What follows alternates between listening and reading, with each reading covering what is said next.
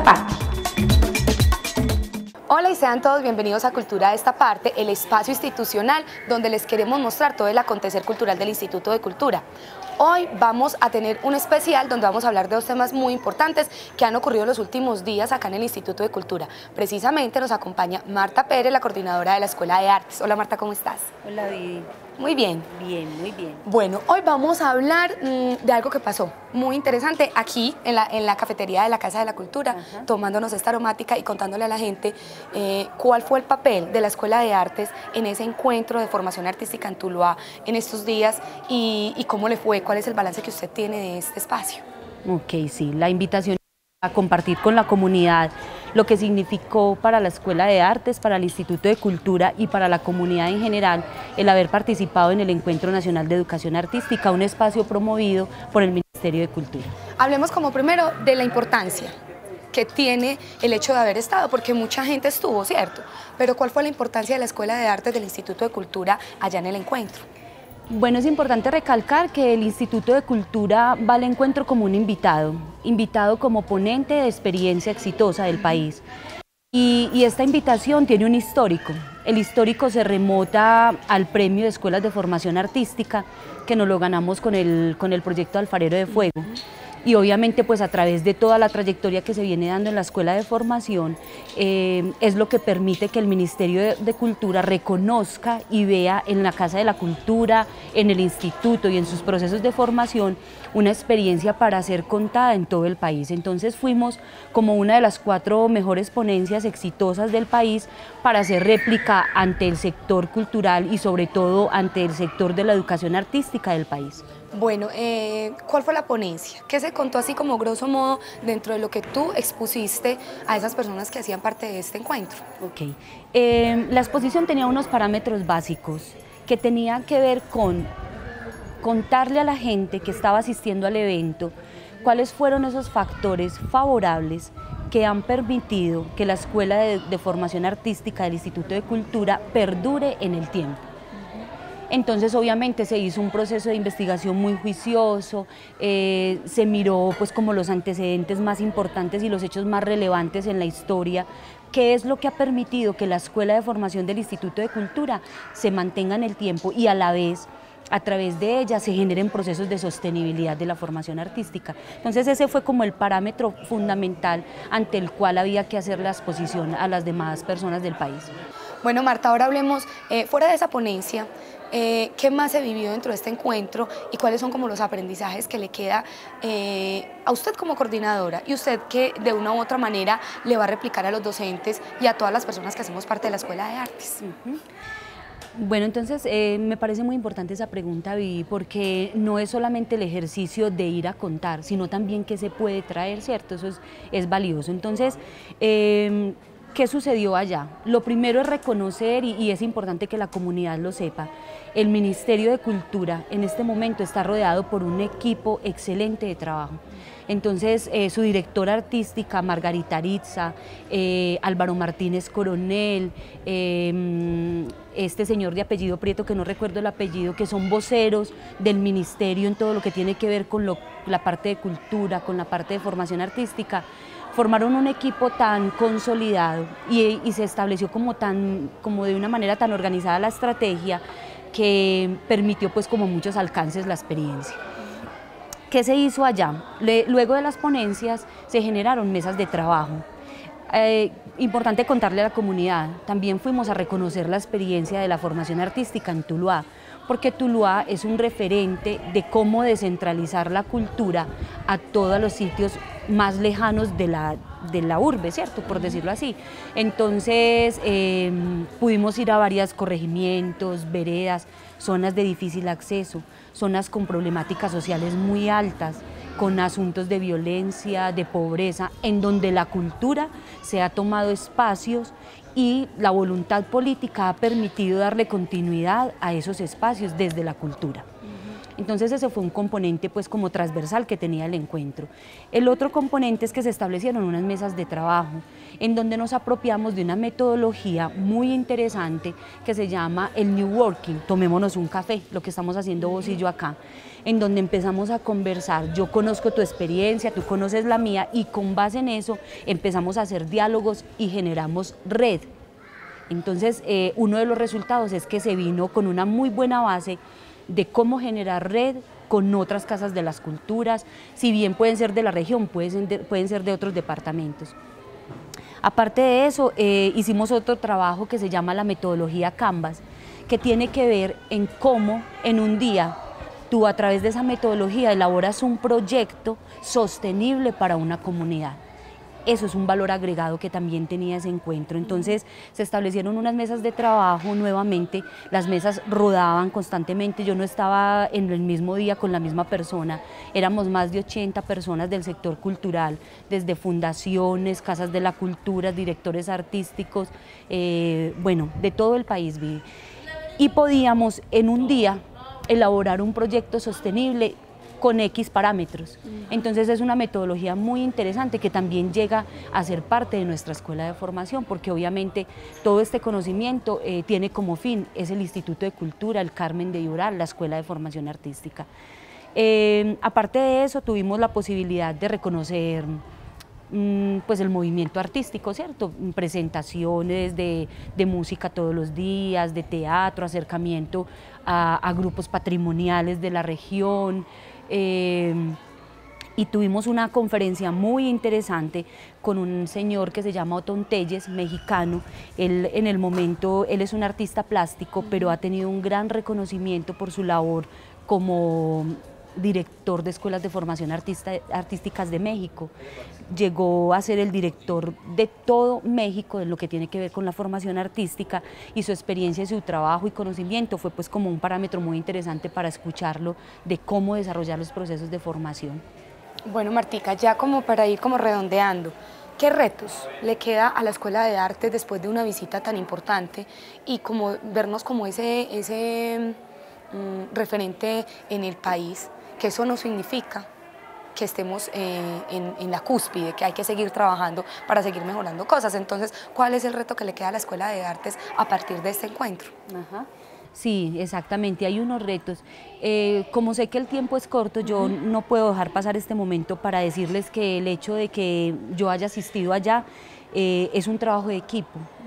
Simplemente es porque hay que elegir un vocero que vaya como a representar pero el área de comunicaciones, Vivi, el área de turismo, todos los docentes de la Escuela de Artes, la administración municipal, la dirección del Instituto de Cultura, y creo que dándole una gran importancia al convenio de formación entre Confenalco Antioquia y el Instituto de Cultura, son los que han permitido eh, ese reconocimiento y, quiero hacerlo antes de que me digas que el tiempo se acaba. Hablando de retos, eh, Inicialmente hay un reto muy importante y es la estructuración de la Escuela de Formación Artística como un proceso organizado, escrito, con niveles de formación, o sea, la elaboración de un plan educativo institucional cultural. Es fundamental. Otro reto que queda de la experiencia es que es importante que el Instituto de Cultura se vaya pensando en cómo generar un encuentro de región de escuelas de formación artística para que el ejercicio que se hace acá sea alimentado desde la región. Eh, es, es muy valioso. Hemos visto también la necesidad desde el área de comunicaciones de crear un brochure, que se dice, de, presentación, de, cada una de las áreas, de la escuela, del instituto, de todo su hacer, que también se convierte en un reto muy interesante. Y llegué con la premisa, con la frase de, no se trata de crear ideas nuevas, Vivi, se trata es de oxigenar lo que existe para darle sostenibilidad en el tiempo. Claro, bueno y no podemos dejar como este espacio aprovechar para invitar a la gente a clausuras y también para las inscripciones para el segundo semestre, entonces aprovechemos las cámaras para invitar a toda la comunidad también. Claro que sí, invitamos a todo el Carmen de Iboral a que se acerquen a este espacio, a esta linda casa. Tenemos las clausuras la última semana del mes de junio, las clausuras que las desarrollamos en el convenio de formación con Confenalco Antioquia, eh, tendremos muestras toda la semana y tendremos algo muy especial, actividad descentralizada, Vivi. Vamos a estar desde Plaza Cultural en el Parque Educativo, teniendo clausuras de la Escuela de Artes. vamos a estar en un café nuevo que se abre allí cerquita, no recuerdo el nombre, eh, pero vamos a tener ahí las palabras y la noche y, el taller de clausura de cuento. Y después les vamos a contar pues así como muy, muy eh, minucioso todo lo que tiene que ver con clausuras en la programación, en la página web y en todos los espacios que nosotros claro que sí. comunicamos. Entonces es invitarlos a las clausuras, que nos acompañen, vamos a estar rodando unos volantes, información y obviamente las matrículas para el segundo semestre que ya también se acerca. Listo, vamos a escuchar las palabras del señor director Daniel Rojas, eh, diciendo como vocero de toda la casa cuál es la importancia que tiene para la Escuela de Artes el haber asistido a este encuentro en Tuluabachi. Cultura de esta parte. Bueno, es eh, afortunadísimo tener eh, la oportunidad de haber recibido invitación para que la Escuela de Artes del Instituto del Carmen de pudiese exponer allí su experiencia a través de los ciclos de formación artística en Tuluá, donde solamente dentro de todas las eh, ciudades participantes pudimos exponer únicamente cuatro trabajos, entre los cuales se cuenta la Escuela de Artes del Carmen de Iborán. Bueno, eh, podemos contarle a la teleaudiencia que eh, tener una escuela de artes, de formación artística en el Carmen de Oral, de las calidades y de las características y de la oferta formativa que tenemos, eh, ya nos pudimos dar cuenta a nivel nacional que eh, es privilegiada porque tenemos un cuerpo docente bastante cualificado y tenemos una oferta en formación que ya se lo quisiera cualquier escuela de ciudades intermedias. Bueno, siempre la preocupación pasa por la parte financiera y digamos que necesitaríamos tener en lo sucesivo la tranquilidad de podernos asegurar eh, programas de formación de semestres y ciclos completos, donde la Escuela de Artes en, Formación Artística tenga siempre la oferta de los dos semestres completos en las diferentes eh, talleres, en las diferentes áreas artísticas. Y siempre sería esa la gran preocupación, porque reitero que el cuerpo docente y los talleres que se ofrecen son de gran calidad. Cultura de esta parte. Bueno, ya para seguir con este especial, acá, desde la cafetería del Instituto de Cultura, nos encontramos con Dairo Zuluaga, él es el coordinador de la Oficina de Turismo del Carmen de Viboral, quien nos va a contar sobre la ruta cultural artesanal de la cual hace parte eh, nuestro municipio y todo lo que en este momento significa el trabajo que han venido haciendo. Dairo, ¿cómo estás? Muy bien, a ver, eh, la ruta cultural artesanal es una propuesta que nace de, de cuatro municipios Además ya la ruta está enmarcada en todo lo que tiene que ver con el destino verde de Antioquia.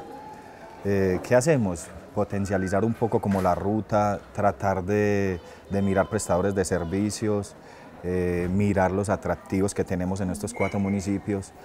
Eh, luego nos reunimos, concursamos en el mejor anfitrión de Antioquia, trabajo que hicimos durante mucho tiempo.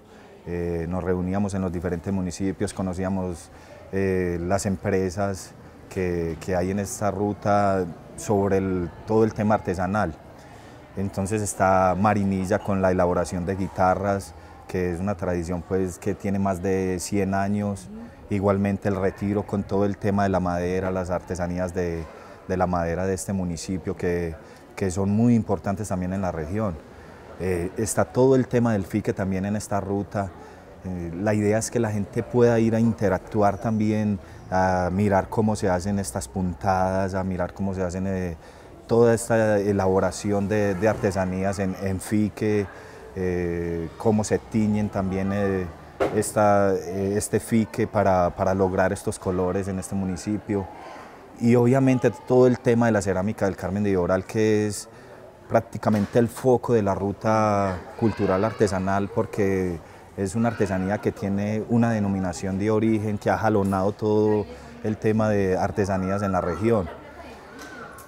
Cómo se elaboran las piezas, cómo se decoran. Entonces lo que queremos es atraer público, turistas, para que vean e interactúen con todo el tema de las artesanías emblemáticas de la región. Hacemos esta propuesta para Gobernación de Antioquia. Ellos hacen una preselección de, 10 rutas ganadoras donde tenemos que ir al, a, Gobernación de Antioquia, hacer un lobby, mostrar todo lo que tenemos como potencial en la región para poder ser el mejor anfitrión de Antioquia. Nos fue muy bien, ¿Cuál fue el puesto que ocupamos? Ocupamos el segundo puesto detrás de la ruta de la leche. Es una ruta que ya está establecida, una ruta que se está operando. Eh, una ruta que fue apoyada por, eh, por todo el tema de, de los alcaldes, eh, asociaciones de municipios y para mí ese fue el punto por el cual la ruta cultural artesanal no, fue, no estuvo en el primer puesto. Y sabes que Dairo, yo leyendo en el portal web de, de la gobernación, ahí se hablaba de que fue un puntaje muy cerrado. Sin embargo, a pesar de lo que vos estás diciendo, que la ruta de la leche es una ruta que ya está eh, organizada y que está estructurada, se dijo que fue un rango muy muy pequeño, muy cerrado entre el primero y el segundo puesto y que una de las cosas más importantes era el apoyo público-privado, ¿cierto? Entonces, ¿cuál fue esa idea de ustedes para meterle como ese, ese, ese tinte de lo, de lo privado para que todo el mundo empezara a creer en esta ruta que empieza a trabajar. Lo que pasa es que en los municipios ya se ha venido trabajando. En el Carmen de Oral llevamos cuatro años vendiendo lo que es la ruta eh, de la tradición ceramista. Fue ganadora de Antojate de Antioquia, nos, nos potencializaron con ese premio y nosotros eh, hacemos un movimiento turístico a través de toda esta tradición ceramista que tiene el Carmen de Iboral hace mucho tiempo. Es más, el Carmen de Iboral lo ven como, como un referente en todo el tema de trabajo turístico de la región. Entonces, ¿qué hicimos? Eh, juntarnos los cuatro municipios eh, con las artesanías y empezar a buscar prestadores de servicios desde lo privado, donde pudiéramos sacar el plegable colocar como cada logo de estas empresas, de cada municipio se llevaban dos logos, el Carmen de Oral eh, tiene el apoyo de Cerámica Renacer y el restaurante La Frijolerita. Eh, sacamos ese plegable y sacamos un video también de todo lo que tiene que ver con la ruta. ¿Qué sigue ahora? Trabajar como unidos entre los cuatro municipios, eh, también hemos recibido ya propuestas de lo que es Santuario, que también está inmerso en esta ruta. Y que también participó por aparte. Y participó y por le hicieron aparte. una mención de honor. Entonces, a mí eso es muy importante eh, mencionarlo, el trabajo en red. ¿Cierto? Sí. Uno solo no, no, no, de pronto es un poco más complicado hacerlo. El trabajo en red aquí creo que también primó bastante. Además que es lo que están buscando ya desde las entidades, cómo poder ayudar con, eh, aunando esfuerzos, con un poco eh, esfuerzo, impactar todo lo que tiene que ver con una región. Entonces no es simplemente al Carmen de Iboral, sino que aquí se está potencializando todo el, todo eh, el altiplano del oriente antioqueño. Entonces es unirnos y empezar a, a, promocionar, a buscar agencias de viaje, promotoras de turismo, operadoras de turismo y empezar a vender todo lo que tiene que ver con la ruta artesanal. Se han recibido ya propuestas de varias operadoras de, de, Antioquia. Hay una extranjera también que quiere vender todo el tema de la ruta cultural artesanal. Bueno, eh, eso era lo que teníamos como para contarles, para que la gente desde este momento se dé cuenta que el Carmen es protagonista dentro de un espacio turístico muy importante al cual el gobernador le está apuntando desde su plan de desarrollo. Eh, no podía faltar, o sea, no podíamos faltar. Uno no puede ser egocéntrico, pero el Carmen tiene que estar ahí porque el Carmen se mueve eh, turísticamente. Muchas gracias, Dairo, por este espacio, por darle a conocer a la comunidad el trabajo que se viene realizando desde la Oficina de Turismo. Y vamos a dejarlos entonces con una entrevista que le hicimos al director Daniel Rojas Duque, donde él nos habla de la importancia que tiene este reconocimiento al trabajo desde la Oficina de Turismo. Entonces vamos a verlo. Bien, no, agradecerles por eh, tratar y mirar cómo les mostramos a la comunidad la importancia que tiene eh, nuestro movimiento cultural y patrimonial en la región. Entonces es un agradecimiento también para, para, los medios porque han estado muy pendientes de lo que hemos hecho y de todas maneras esto hay que mostrarlo para que la gente empiece a identificar de que somos un potencial turístico para la región. Cultura de esta parte. Bueno, fue un trabajo mancomunado que eh, Dairo desde la Coordinación de Turismo del Carmen eh, lideró junto con los municipios del Retiro, Marinilla y San Vicente, donde la propuesta que realizaron conjuntamente pues, obtuvo el segundo lugar entre varios trabajos propuestos en el, concurso Antojate de Antioquia. Pues es, eh, digamos que de vital importancia eh, obtener este reconocimiento, dado que nos facilita poder dar cumplimiento con mayor eficacia al Plan de Desarrollo Cultural, eh, el Pueblo con Vida Cultural 2005-2015, donde la promoción turística del municipio como destino turístico, cultural y artesanal está inmerso dentro del mismo programa. Cultura de esta parte. Esta es la agenda del Instituto de Cultura porque la casa invita. La Oficina de Turismo y el Instituto de Cultura del Carmen de Viboral invitan a apreciar la exposición de la memoria fotográfica del Carmen de Viboral que se encuentra dentro de las instalaciones de la Casa de la Cultura Sixto Arango Gallo, la exposición de fotografía El Carmen ayer y hoy. Te invitamos a que visites nuestra sala de lectura José Manuel Arango en los siguientes horarios. Lunes de 9 de la mañana a 1 de la tarde y de 3 de la tarde a 8 de la noche. Martes de 5 de la tarde a 7 de la noche. Miércoles de 10 de la mañana a 1 de la tarde y de 3 de la tarde a 8 de la noche. Jueves de 9 de la mañana a 1 de la tarde y de 3 de la tarde a 8 de la noche viernes de 9 de la mañana a 1 de la tarde y de 3 de la tarde a 8 de la noche, y sábados de 10 de la mañana a 1 de la tarde. Invita Instituto de Cultura en convenio con Confenalco Antioquia. El Instituto de Cultura te invita a las clausuras del primer semestre de la Escuela de Artes en convenio con Confenalco Antioquia. Lunes 24 de junio, taller de técnica vocal, lugar Sala de Teatro Tespis, hora 7 de la noche. Guitarra popular, lugar Sala de Teatro Tespis, hora 7 de la noche. Martes 25 de junio, guitarra popular, lugar sala de teatro Tespis, hora 6 de la tarde. Teclados, lugar sala de teatro Tespis, hora 6 de la tarde. Cuerdas frotadas, lugar sala de teatro Tespis, hora 7 de la noche. Miércoles 26 de junio, artes plásticas, pintura, cerámica, cómics y caricatura. Lugar Galería de Artes, hora 6 y media de la tarde. Batería y percusión folclórica, lugar Sala de Teatro Tespis, hora 6 de la tarde. Banda Mayor, lugar Sala de Teatro Tespis, hora 8 y media de la noche. Jueves 27 de junio, Teatro Extensión, lugar Sala de Teatro Tespis, hora 6 de la tarde. Teatro de Proceso, lugar Sala de Teatro Tespis, hora 7 y 30 pm. Viernes 28 de junio, Ballet y Baile Popular, lugar Sala de Teatro Tespis, hora 5 de la tarde. Clase abierta, danza moderna, folclórica y grupo de la tercera edad, lugar, sala de teatro Tespis, hora 6 y media de la tarde. Cuento dentro del evento Las Palabras y la Noche, lugar, Café de las Historias, carrera 30, número 2878, hora 7 y 30 pm.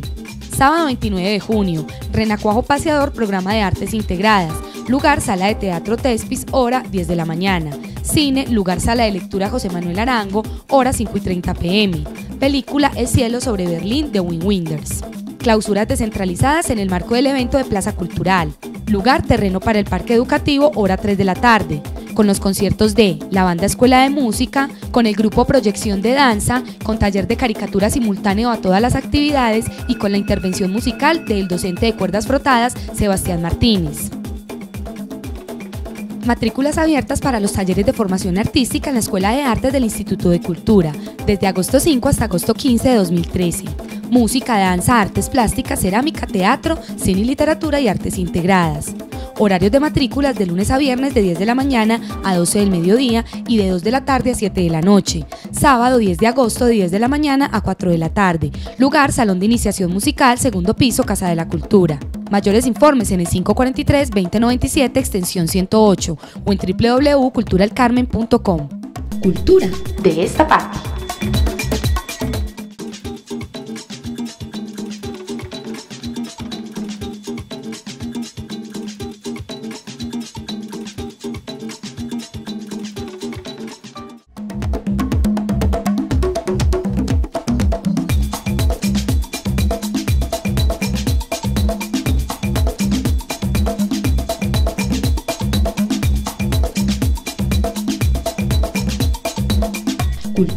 De esta parte.